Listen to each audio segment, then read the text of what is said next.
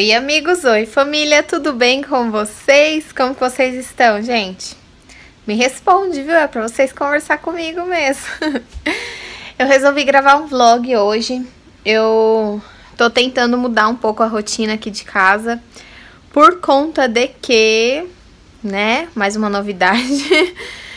Eu é, estou querendo, estou querendo não, eu vou pôr, né? Se Deus quiser vai dar tudo certo colocar a pequena Liza na creche. Uh, uma colega minha veio aqui em casa semana passada para fazer uma doação de roupa para Liza. Mostrei até lá no Instagram um monte de roupa que ela ganhou. Então, se você quiser saber das coisas em tempo real, me acompanha por lá, tá bom? Vou deixar aqui, ó, Poliana 13 Andressa. E, e ela falou que ela vai começar a trabalhar em uma firma, né? De, se eu não me engano, é Bentoyá, que faz comida. E daí eu falei pra ela que eu também queria trabalhar e que só que não tinha vaga pra, pra Liza na creche, né? A creche que tem aqui perto não tinha vaga. Eu já fui ver algumas vezes e não tinha vaga. Aí ela me falou que essa creche que a filha dela vai tá tendo vaga. Então eu vou tentar colocar a Liza lá. Eu já fui pegar o papel, né, da creche, esse que tá aqui já eu mostro pra vocês. E amanhã eu e o Ítalo vamos lá na prefeitura é, pra preencher todos os papéis direitinho. E se tudo der certo eu vou colocar ela. E como que funciona aqui, né? Vou explicar bem rapidamente, porque depois que, né, ela entrar, daí com certeza eu vou fazer vídeos contando tudo pra vocês, explicando e tal, né? Mas a creche é, da prefeitura aqui no Japão, você só pode colocar se a mãe estiver trabalhando. Ai, será que é em todas as regiões que é assim? Eu não sei. É porque aqui no Japão muda muito de província para província, sabe? Às vezes o que funciona aqui nessa província não funciona em outra, mas eu acredito que pelo menos as creches da prefeitura sejam iguais. Se a mãe não estiver trabalhando, você não consegue colocar a criança na creche, a menos que você coloque no Yotien, que fala, se eu não me engano, corrijam se eu estiver falando errado, que é a partir do terceiro ano, né? Quando a criança completa três anos, você pode colocar, que daí no caso seria uma creche particular. Em relação a preços, acaba saindo elas por elas, porque o, a creche da prefeitura eles fazem baseado no seu salário. Então, com os dois trabalhando, bem, na época do Luiz Henrique, eu pagava 30 mil ienes de creche para ele, que dá aproximadamente 900 reais. Isso é a creche da prefeitura, tá, gente? Aqui para vocês verem que mesmo na, a gente não tem creche de graça, mesmo sendo da prefeitura, a gente tem que pagar. Porque eles fazem o cálculo baseado no salário dos pais, né? Já esse Iotien aí, que é, que é particular, a mensalidade, pelo menos da que eu vi aqui, também é por volta de 30 mil ienes. Então, acaba saindo a mesma coisa, tanto colocando numa creche particular como na da prefeitura. A diferença é que na da prefeitura você consegue colocar criança com, acho que a partir de 3 meses de idade, se eu não me engano, né? E nessa particular só a partir dos 3 anos. E Aí, por conta disso, eu tô tentando mudar a rotininha dela, sabe? Fazer ela acordar mais cedo. Essa semana eu tô tentando acordar ela já às 7 horas, porque a Liza costuma acordar por volta das 9, 10 horas. Então eu já tô tentando acordar ela.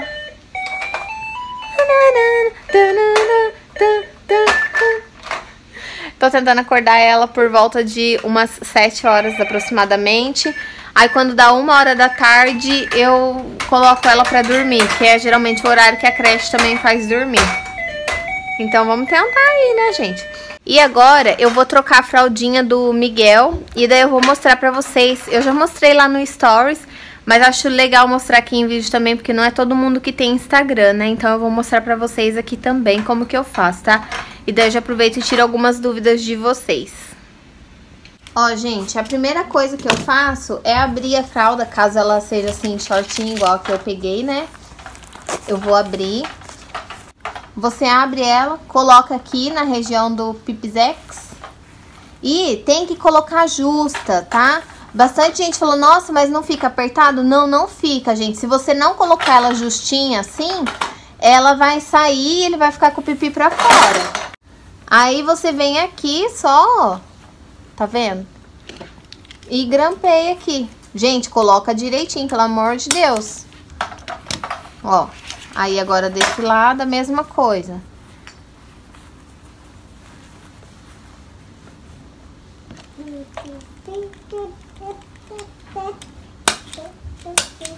Ó, e fica certinho. E fica, não sei se eu vou conseguir mostrar pra você. Dá pra você, ó, não fica é, apertado como, como parece, tá? Ela fica bem confortável. Pronto, Miguel.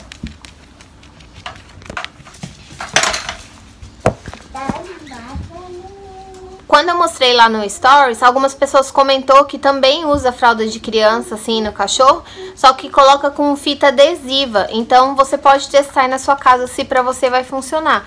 Aqui em casa com o Miguel não funcionou, porque o Miguel, ele tem uma mania estranha, não sei se isso é normal, mas ele fica se roçando o tempo todo, sabe? E se a gente tá com o pé, ele fica roçando, roça no sofá, ro fica roçando. Ai, é estranho falar assim, né? Mas roçando, fica se coçando. Acho que é essa palavra melhor, não sei. Eu acho que é roçando, né? Porque ele fica, né? É, é isso aí, gente. Então, com a fita, solta, né? Agora já com o grampeador, não solta. Aí, é... E o grampeador não machuca, obviamente, porque o grampeador, ele dobra assim, né? Tem aquelas duas... Ele dobra pra dentro, gente. Quem já usou grampeador sabe. Então, não tem perigo de machucar. A única coisa que é bom você ter atenção é, na hora de tirar a fralda, de ter atenção de ver se não ficou grampeador caído, para depois não ter perigo de, de ninguém pisar ou qualquer coisa do tipo, né? Gente, é bem tranquilo. Ah, outra coisa que você, é, algumas pessoas me perguntou de quantas vezes por dia eu troco ou como que eu faço para trocar. Tem que trocar igual fralda de neném, gente. Ou você troca de 3 em 3 horas, ou quando você vê que tá já meio cheio, ou fez xixi, né, tá azul na listra, Aí você troca também. É igual bebê, gente. Tem que cuidar igual bebê. Aí, agora eu vou arrumar aqui as coisas. A Laís tá fazendo uma atividade. Na verdade, é a segunda atividade que ela tá fazendo hoje. Porque a primeira foi de massinha. Inclusive, tá ali ainda. Ela tava brincando aqui. Porque eu estava sentada aqui, ó. Eu tirei a blusa agora porque eu tava com frio. Olha minha xícara que eu acabei de tomar um leite. E nós estávamos fazendo atividade com, com a massinha. Quem viu lá no vídeo de comprinhas, eu mostrei que eu comprei pra ela esse kit aqui, ó. Aí eu guardo nesse potinho, né, que é descartável também. Então, quando a massinha já não tá boa, eu já posso jogar fora também. E conservo a massinha por um tempo. Aí agora ela tá com esse brinquedinho ali, ó. Vou dar uma arrumadinha rapidinho aqui na casa. Eu preciso guardar as roupas que a Liza ganhou. Nossa, tá uma bagunça lá em cima. Eu tinha organizado tudinho, sabe? Por tamanho e tudo mais. Mas a Liza foi e jogou pra cima, assim. Nem vou me filmar porque tô sem condições. Ontem eu não filmei mais nada, né? Vou continuar hoje, na sexta-feira. Vocês vão assistir esse vídeo, tipo, em tempo real, quase.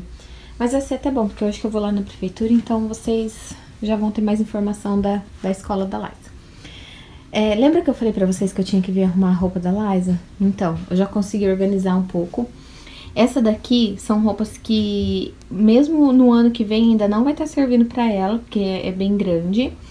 E essas daqui já vai ser as roupas que ela vai usar no próximo inverno. Tudo isso aqui a Liza ganhou, gente. Não é uma benção? Olha quanta roupa essa menina ganhou. Ai, tô tão feliz. Aquelas ali são roupas que já estão pequena pra Liza, né? Que daí já mesmo nesse verão ela não vai conseguir usar. Então eu já separei também, porque daí eu, eu dou também. E essas daqui são as roupas de verão, que ela já vai usar esse ano, né? Tem algumas roupas que já é da Liza aqui, como por exemplo essa pilha aqui, que foi que eu trouxe de...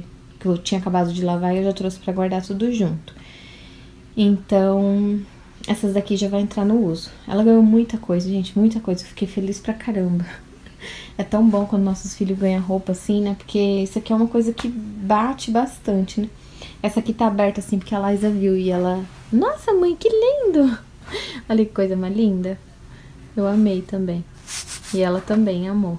Aí ela olhou, nossa, que lindo! Ai, a Liza é muito fofa. E é isso, gente. Eu vou me arrumar agora e eu e o Ítalo já vai lá na prefeitura pra ver o negócio da creche dela e eu já falo pra vocês.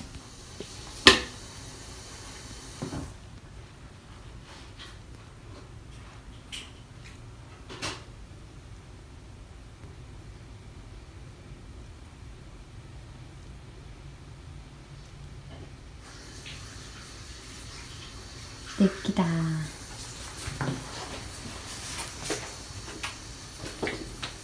Tá linda? Olha lá no espelho. Ficou bonita?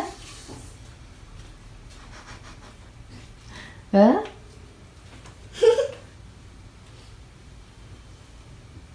já tô com a blusinha que eu ganhei já, porque eu sou dessas. Esse short também foi ganhado, acho que eu ganhei da minha irmã. Tá linda? Eu quis pôr óculos.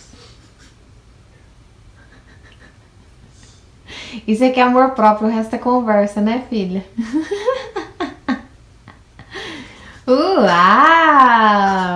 Que linda! Acabei de chegar na prefeitura, eu vim sozinha, porque a Liza dormiu. O Ítalo ficou com ela no carro. Depois que eu sair de lá, daí eu conto pra vocês como foi, tá? Tô com os papéis aqui na mão. Gente, agora já é 7h45. Nós chegamos lá do, da prefeitura e foi fazer compras, essas coisas assim. Mas eu vim aqui dar um parecer pra vocês de como que foi lá.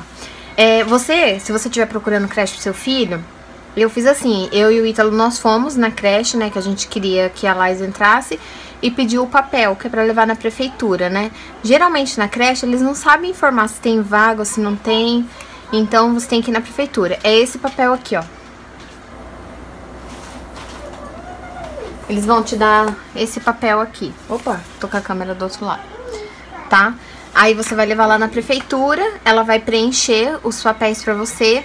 E aqui, eu não sei se são assim todas as províncias, mas aqui onde eu moro, ela me levou no setor é, só, só disso, de creche. E eles olharam lá, né, é, as creches que podia ser pra Liza. Você tem que dar três opções de creche, tá? Deixa eu ver se eu acho aqui. Ó, aqui em cima ela vai preencher três opções de creche. E pelo que nós vimos lá no, no, no cartazinho deles lá, nenhuma dessas que dá pra Liza aí tem vaga. Então, por enquanto, talvez eu não consiga colocar a Liza na creche. Mas, mesmo assim, eu vou dar entrada. Aí, o que que acontece? Ela até colocou os papeizinhos aqui pra mim saber. É, um desses papéis, o Ítalo tem que levar no serviço dele para preencher. O outro, eu tenho que levar no suposto serviço que eu vou entrar, né? Porque se você não tá trabalhando fora, você não consegue creche da prefeitura. E o outro é o com os dados nossos que ela preencheu, né? Aí você vai pegar esses papéis depois de preenchido, ou você leva na própria prefeitura, ou você leva na escolinha, tá? E daí eles vão ver dentro, dentro dessas três creches que você pode levar o seu filho, qual delas vai ter vaga. E se porventura não tiver vaga, ela falou que a própria prefeitura vai continuar, tipo, procurando, sabe? E, ah, outra coisa, é, eu tenho que levar o papel lá até o dia 15, né? Dá uma olhadinha na prefeitura de vocês, porque tem data certa, até o dia 15. Ela falou que até o dia 20, isso do mês que vem, tá? Até o dia 20 a prefeitura vai me mandar uma carta falando se tem ou não tem vaga, tá? E ela falou que se provavelmente não tiver vaga agora, eu só vou conseguir vaga pra Liza quando ela completar 3 anos e pra ela entrar na data certa. E a data certa de entrar em creche aqui no Japão é só em abril, tá? Então é isso, gente. Por enquanto, meu, minha comida ficou pronta. Por enquanto, ela falou que não tem, mas, né, ainda tem uma esperança, que pode ser que na creche eles vão fazer uma verificação e encontre, né? Aí eu vou conversando com vocês, falando tudo, deixando vocês a parte de tudo e trazendo um pouco de informação pra vocês, tá bom? E isso, gente. Um grande beijo pra vocês, fiquem com Deus. Eu vou jantar, vou editar o vídeo e já vou subir hoje mesmo pra vocês, tá? Fiquem com Deus. trail.